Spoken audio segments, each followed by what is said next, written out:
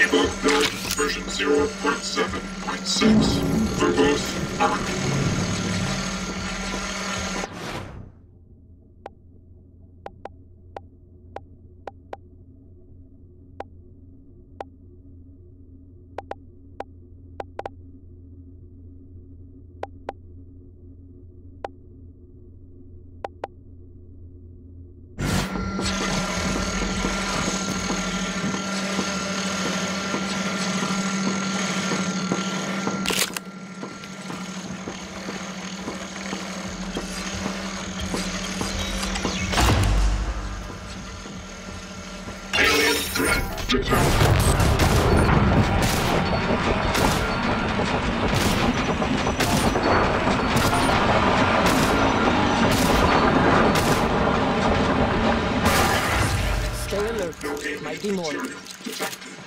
They just kept coming.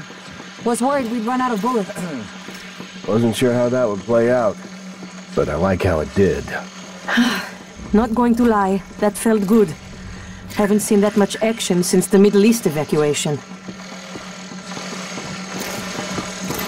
Didn't realize how much I'd missed combat.